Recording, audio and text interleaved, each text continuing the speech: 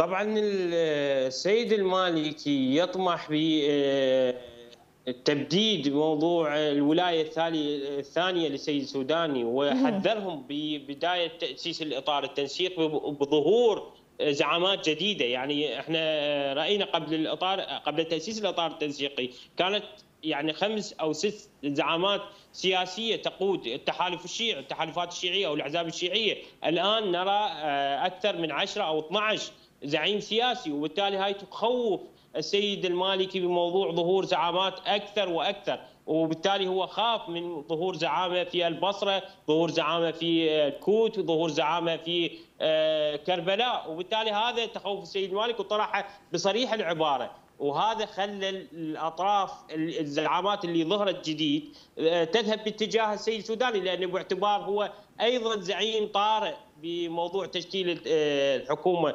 حكومة الإطار التنسيقي.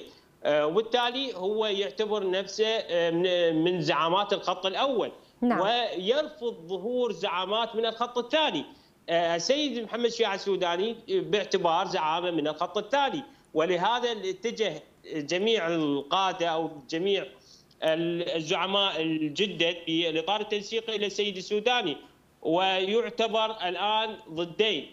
السيد تحالف برئاسه محمد الشيع السوداني وتحالف برئاسة السيد نور المالكي.